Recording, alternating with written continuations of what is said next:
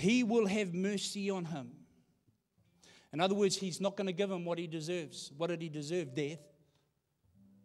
He's going to give him what he didn't deserve. What's that life? Let him return to the Lord, and he will have mercy on him and to our God, for he will abundantly pardon. Not just pardon, abundantly pardon, but pardon means to forgive. It's the same word pardon, forgive. He will forgive, he will pardon. Abundantly in this text means as if it didn't even happen, as if the debt never existed. All right, there, there, see, see, on a human level, right, we'll clear the debt, but we keep a record. yeah, yeah, we'll, we'll clear the debt, but we won't forget. That's, God's ways are not our ways. He says, when I clear the debt, it didn't happen. You say, but what about that debt? He goes, what debt? What? What, what about that thing? What thing? What? What?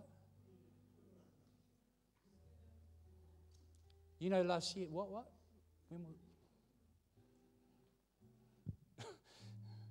but us, no, we, we, we, we keep a record. Bring it up from time to time to ourselves. Oh, you thought I was talking about to other people. I'm talking about to, to ourselves. You remember what you did, Richie? Yeah, yeah, yeah. It starts there, then it moves on to others. yeah, yeah. What's that called, Richie? Oh, witchcraft? Oh, whoo, straight to the point. Yeah, control. You're bringing up the past to control an outcome. Manipulate that person towards a certain end. Hebrews 12 15, I'll let it tell us the story looking diligently lest any man fail of the grace of God, lest any root of bitterness springing up trouble you, and thereby many be defiled. Need to unpack this. You see, grace is not the failure. God's grace flows. What he's saying is, is the failure is on our part now to be able to, to receive the fullness of that flow. Peter asked the question of Jesus to give it some context. Peter says to him, Lord, how often shall my brother sin against me and I forgive him? Up to seven times? I'm thinking, why seven? What, what's the deal with seven? He could have said, like, you know, any number, but he picks on seven. As we know, seven means completion and perfection. In other words, perfect forgiveness is complete forgiveness. It's not a half uh, forgive on the condition of.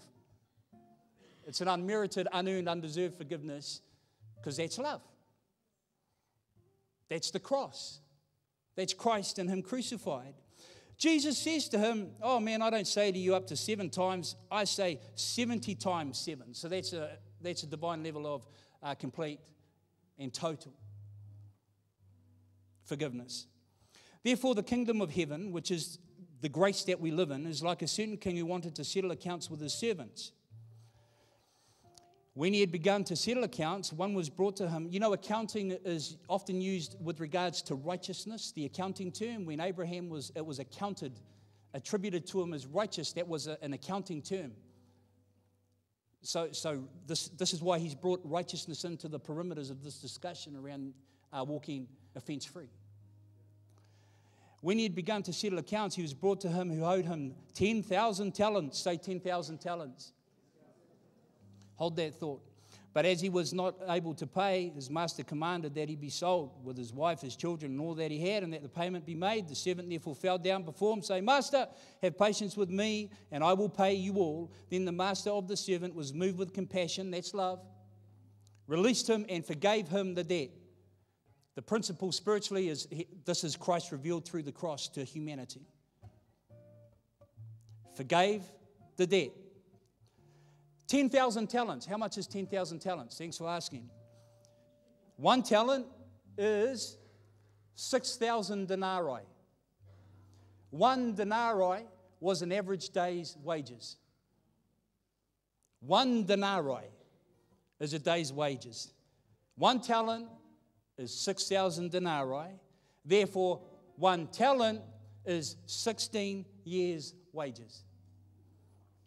So if the servant owed 10,000 talents, it's going to take him 1,975 lifetimes to pay it off.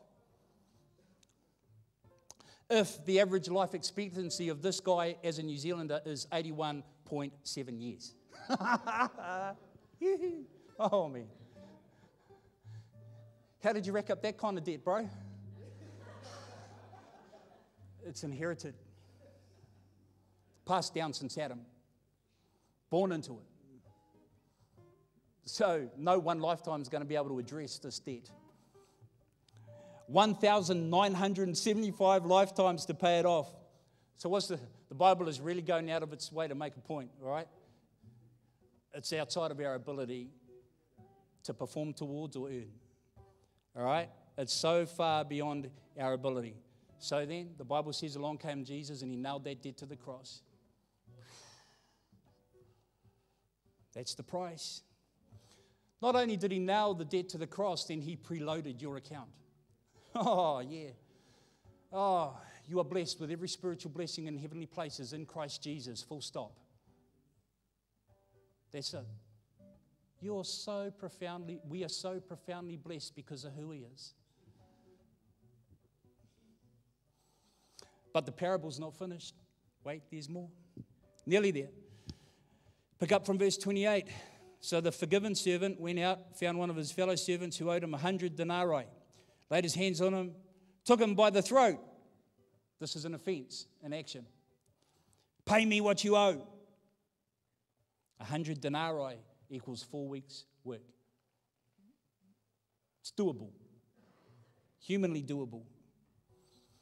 But remember, the guy who's owed four weeks, right, was forgiven 160,000 years worth of wages. So now we're getting context on this issue from God's point of view. So his fellow servant fell down at his feet and begged him, saying, Have patience with me, I will pay you all. He would not, but went and threw him into prison till he should pay the debt. This is pride now being revealed through the nature. And the reason I say that is because God has revealed forgiveness to him through the cross. Now he's withholding that from this guy. He's withholding He's withholding what Christ himself has performed towards the servant.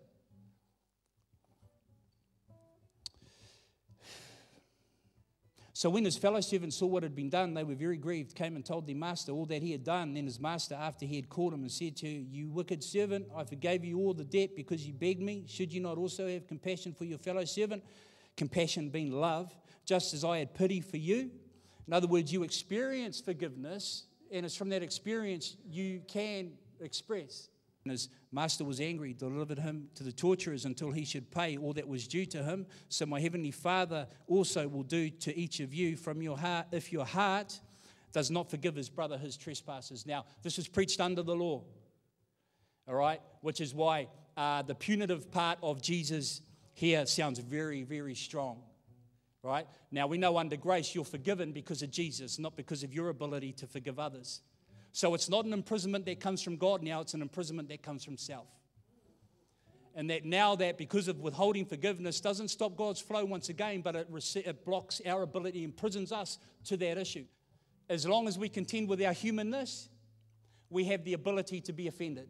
That's why every day is lived trusting into the Christ life, which is the love life that has been imparted imparted. As we grow, so does the love life. And the manifestation or the expression of love in action is walking in a spirit of forgiveness every day.